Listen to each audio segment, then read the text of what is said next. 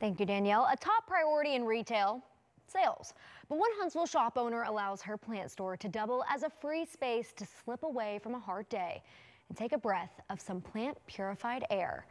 This is uh, Kit Campbell with Botanica.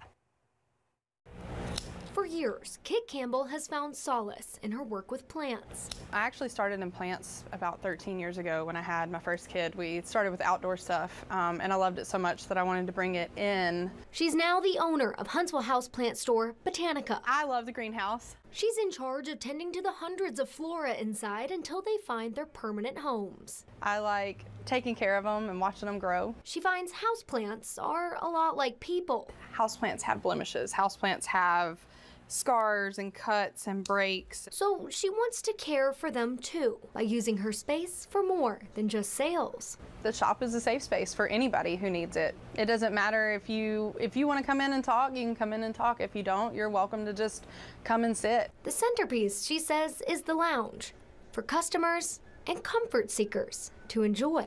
If you work from home or you're having a bad day, you're welcome to come in and hang out. Um, no obligations. I have had several people come in with tea and coffee and a book and just sit back there and after about an hour or so, they're like, hey, thanks, I'll see you later. And I'm like, okay, bye.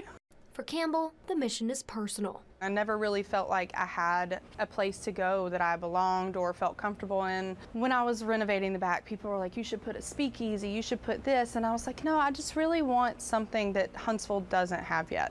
And now it does. If I can share my solace with anyone for any reason, it doesn't matter what it is, I will be happy to do that. In Huntsville, Lauren Layton, News 19. Another way Campbell creates community is through her plant swaps and classes. She posts updates on those opportunities on Botanica's social media. You can find more information and a link on our website, WHNT.com.